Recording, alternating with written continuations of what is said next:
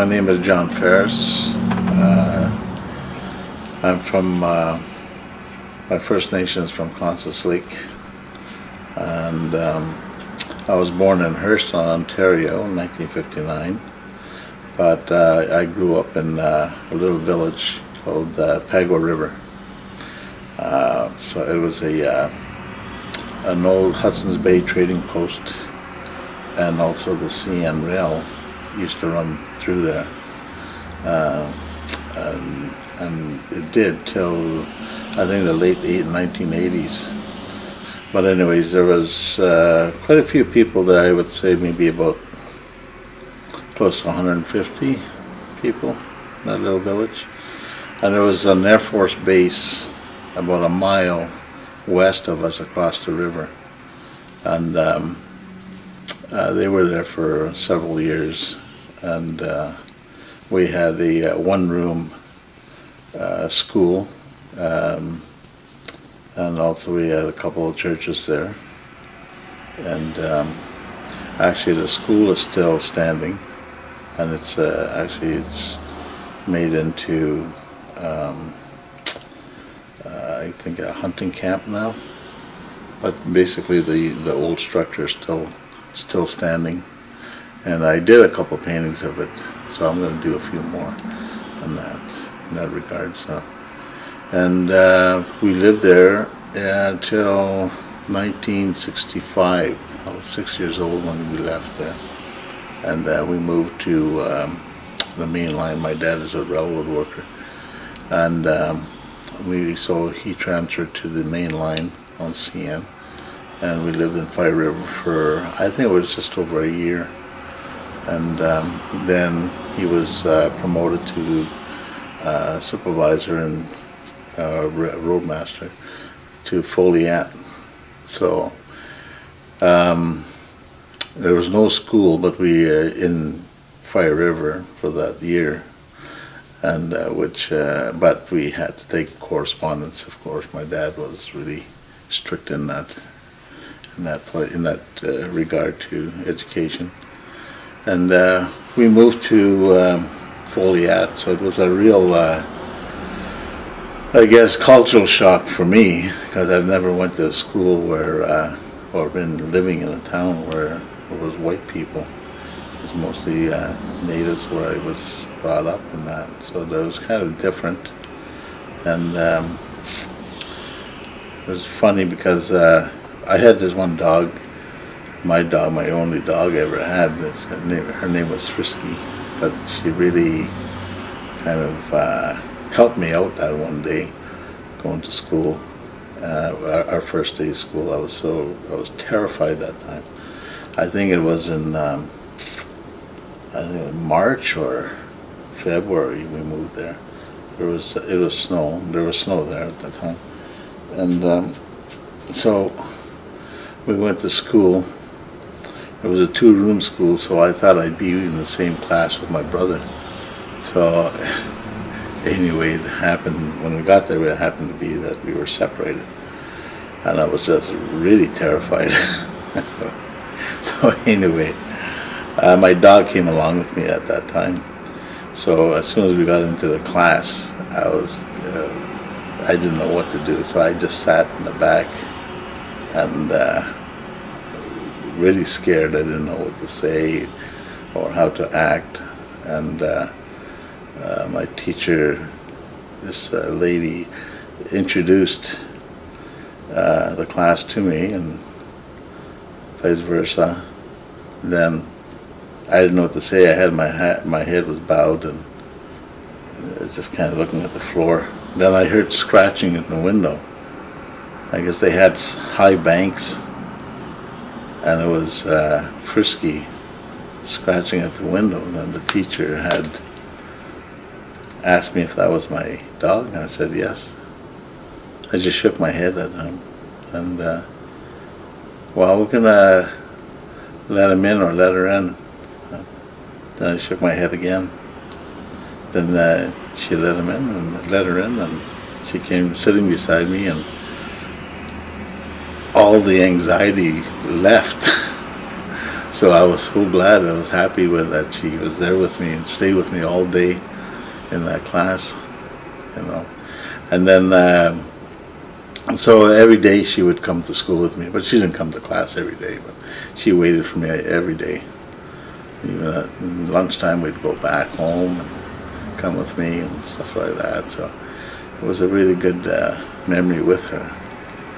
And uh, one particular day, it was nice and sunny, and uh, we were walking down the road, heading home for lunch, and uh, there was this house which had a, a trail behind it on the road, and the intersection on the other side of that house. So anyway, we at the we came to this uh, trail and uh, the road where it continued, and uh, Frisky was beside me, and uh, it seemed like she knew what I was about to do, and she took off down the road, and I took off into the trail, onto the trail behind the house. We, I ran, and she knew what I was going to do. We were trying to beat each other to the other side of the, meet each other to the other end of the road there. So anyways, about halfway behind that house, I heard this, this uh, gunshot, and I stopped, and I didn't know what was going on. So it was on the other, heard that gunshot on the other side of the house. Then I seen Frisky run by on the road in a panic, and I chased her, and I didn't know what was going on.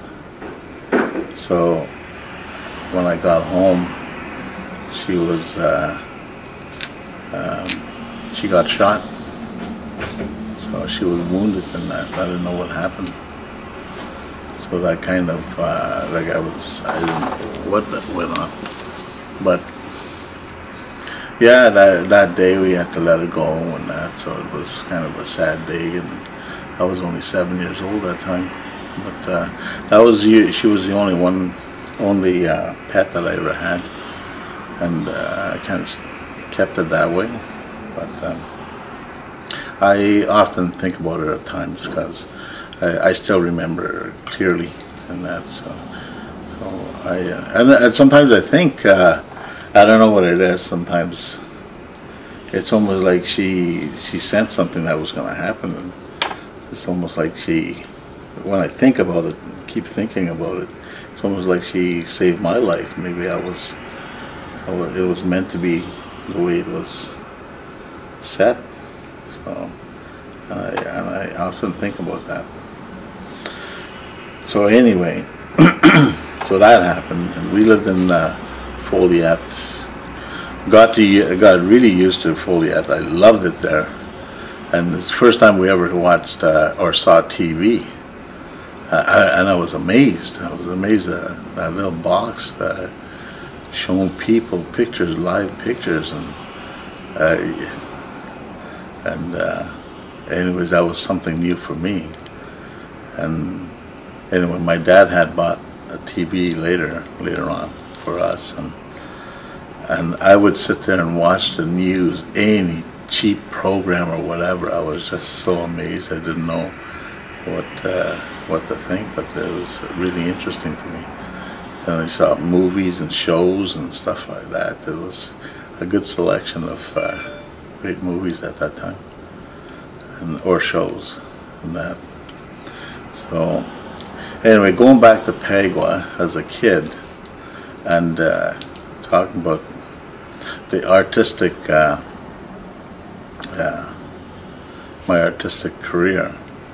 I started, I used to look at my dad's Bible, family Bible, and look at these paintings and illustrations of the old masters. So this was really interesting to me because I don't know why, but I really like the shapes and the, and the drama behind these paintings and pictures. So, and uh, I used to get a pencil and start sketching just the shapes. I don't know why. Why was it the shapes I was after? So, and then the figures and stuff like that. Maybe do the head or maybe do parts of the body and just just going after the shapes. So I did that at that time and at an early age. And I was always trying to be precise in my drawings and, and uh, doing fine lines and just trying to be exact as what I, what I would see. So, and later on, like I said, we moved to uh, Foleyet and, we had a competition there at Christmas time. And uh, they wanted us to do a Christmas scene, anything.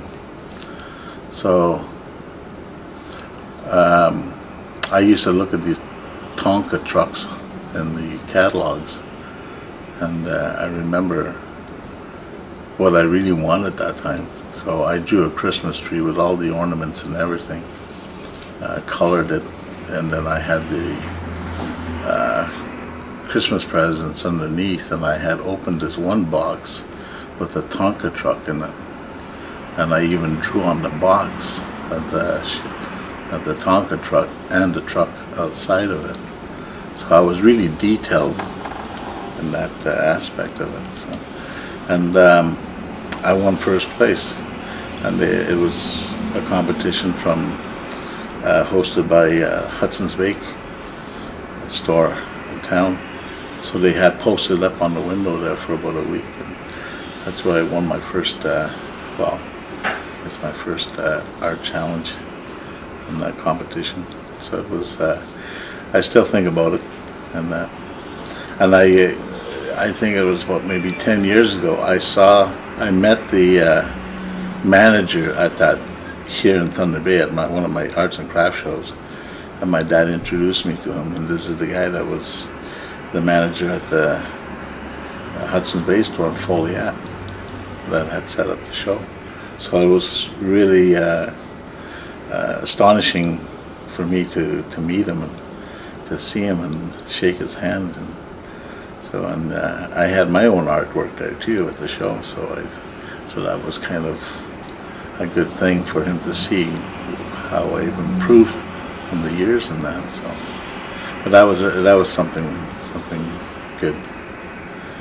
And um, we were uh, li we lived in Foleyet for about I think about, about a year and a half, and then we moved to Armstrong, uh, Ontario. So and uh, and um, I continued my drawing career, my uh, my drawing stuff and that.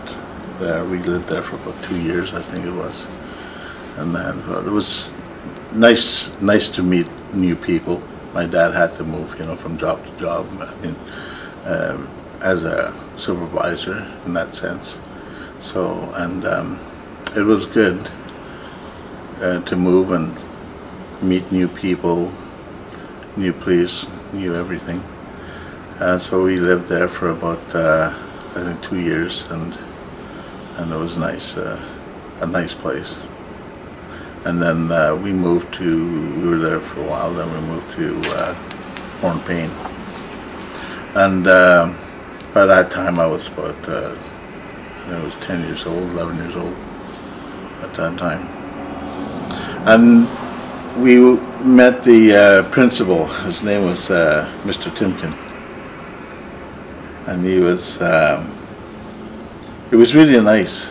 He was really nice and uh, really nice introductory that he gave us there and, and asked us if we like art and that. And I said, yeah, I, I love art. So, and anyway, later on, as I was going to school there, I got more into my my art. We had art classes and that, and I was just, I couldn't wait for art art class every uh, week, once a week it was on. So, and my principal would come in and take a look and see what I was doing and that, and he got, he used to get excited, and he said, well, can you put some action into it and all this stuff, so, and um, so I drew, so right away when he tells me these things, I can see all these uh, images in my mind and and I can put it into action, just quick sketching and stuff like that. I don't know what it was, but it was it was something that I had. I used to draw football players or hockey players or maybe somebody on a motorcycle, stuff like that. I can sketch it quick and being more, um, I guess, uh, elaborating a little bit more and proportional wise and things like that. So things fit and that. So that was a, a that was something I saw. But then again, that's what I learned from uh, uh, learning my drawing at, at an early age because I, I, was thinking about the shapes and that's exactly what I went after. Just going back to uh, Hornepayne, uh, my principal would take me out of class prior to Christmas holidays for about a week to do murals on the walls. So I was the only one that was doing that. So I was in grade five at the time. So I did that till I was grade eight. So it was, it was, uh, I guess it was something that uh, I inspired more to as being a, being an artist and become, becoming more serious with it. But uh, able to do large, uh, large size uh, drawings and artwork. So working with color, different colors and all that too. So it was it was something uh, special to me at that time. So so Mr. Timken, my teacher or principal, um, really kind of uh, encouraged me to, I guess, become an artist. I know he kept a lot of my artwork as well, and some of the other teachers as well too. So, but um, and just uh, about a year ago, I've never spoken with, uh, I had a friend there, his name was, uh, well, guy I went to school with in uh, Hornepayne. Since the last time I saw him was 1974. And uh, came across on across uh, seeing his name on Facebook and I contacted him and he, he remembered me. And uh, we had a chat, and uh, we're supposed to meet uh, sometime soon. And uh, I guess uh, after we chatted there, he talked to his mom, his mother about it, and uh, she she remembered my artwork.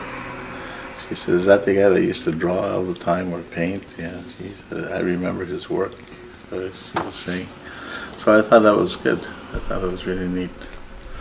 So anyway.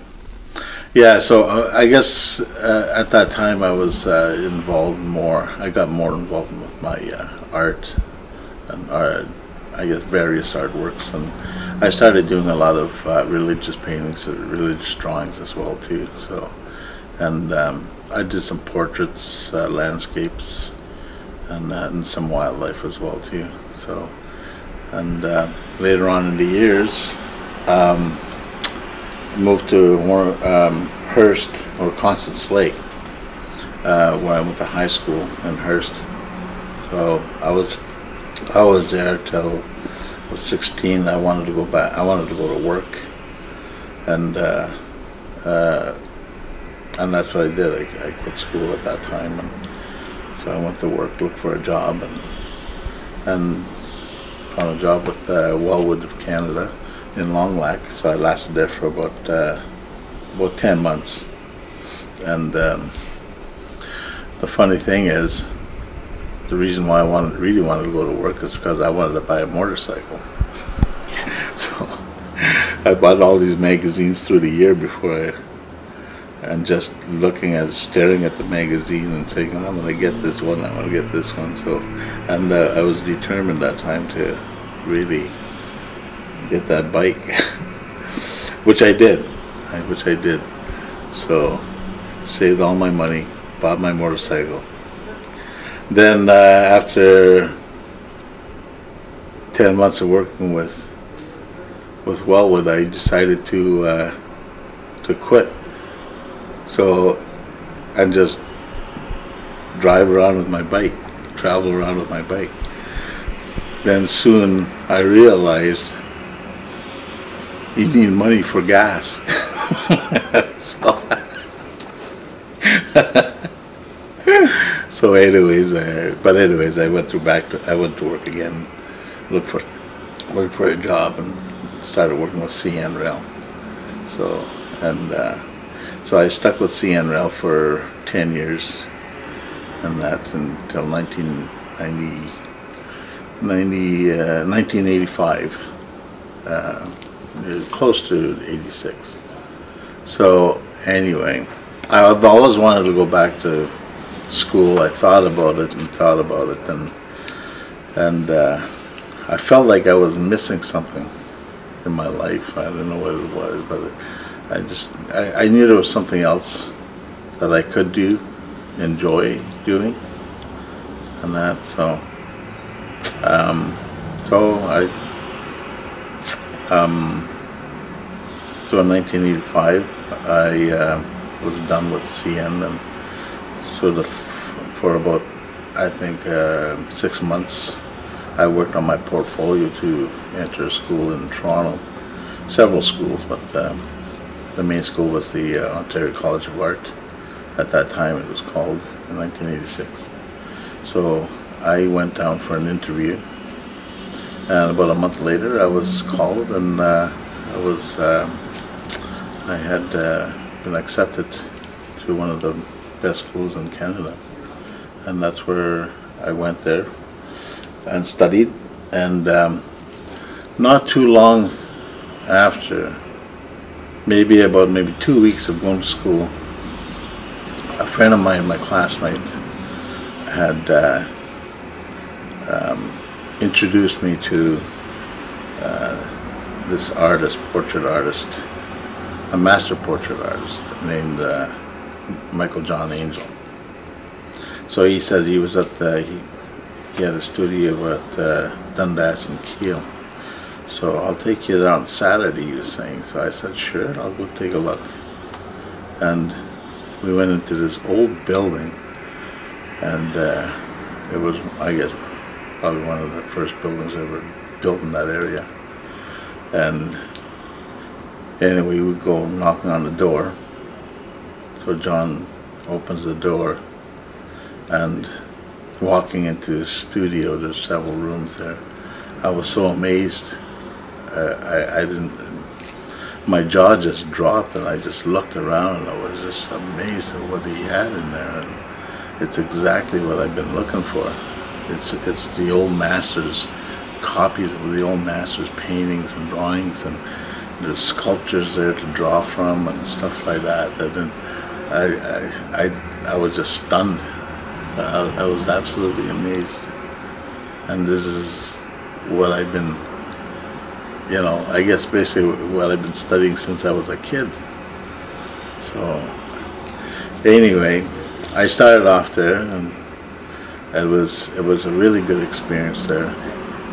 While I was still going to school at Ontario College of Art, and and, uh, and just the way John had taught us and talked about how the process of uh, developing a drawing and that it's exactly what I was doing since I was a kid, going after the shapes.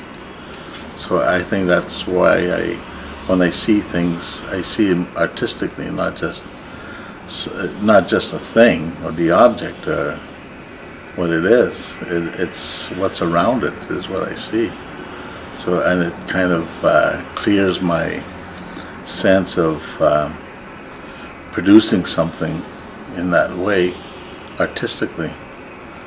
And I, I, I, didn't realize that until he really elaborated on how to look at a, a subject before you draw it or paint it, for that matter. So those are the really uh, important things that uh, um, that I've learned through his school, his teachings. And also it wasn't it, became more than that because we learned the the history of the the artists themselves. He would talk about the artists and he would um, also even talk about the recipes various recipes that the old masters had used and also we studied anatomy we studied theory uh, color theory all the history that was important in, the, in that respect. So, and my level of drawing, like, just developed at a higher level. And I was really um, amazed of how much I've done and how much I've learned through that, uh, that era. So I was there for three, three and a half years studying like that. And at the same time, I was going to Ontario College of Art and went to uh, George Brown College, graphic design for two years. And that was uh, another another school I went to at the same time. So I was in Toronto studying for six and a half years before I moved back up north. So there was a lot of uh, lot of training that I had in the field of fine arts. And uh, while I was down in Toronto, I used to think about my my grandparents and my, I guess my culture, in a sense of uh, comparing the old masters of how they used to to uh, uh, work with raw materials, and uh, and I remember as a kid back in back in um, Constance Lake in Pagwa River.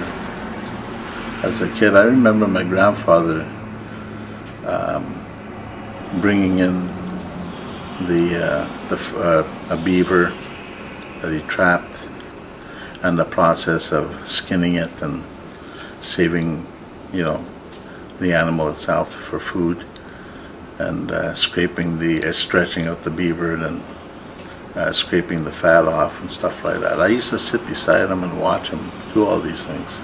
And especially with um, the process of making their sinew or their lacing for, for uh, snowshoes and how my grandfather bent the wood and that. I, I used to sit beside him and watch him.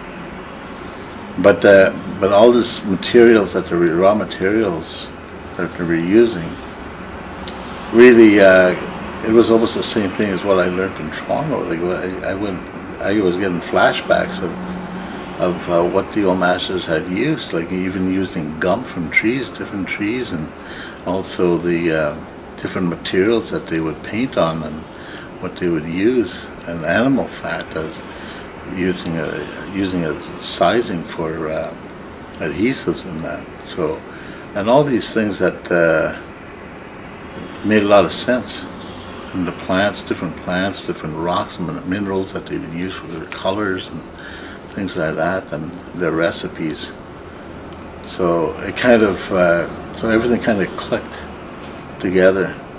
So, and uh, and so this kind of art that I studied in Toronto became not just art, but it became more of a science and and that's what really interested me to keep on going in that. So I kind of looked at it both ways, science and art. Then I studied uh, Da Vinci and how Da Vinci saw things in, in his own way. And uh, he wasn't just uh, an artist, and he, he, didn't do that many paintings or um, artworks. There was a lot of thinking behind his uh, his uh, creations. You know, it was uh, mechanical. It was all engineering, and uh, the process of excuse me developing these these uh, I guess uh, motorized vehicles that he he worked with, but it was more or less. Uh, uh, I don't know what you would call it there. Um,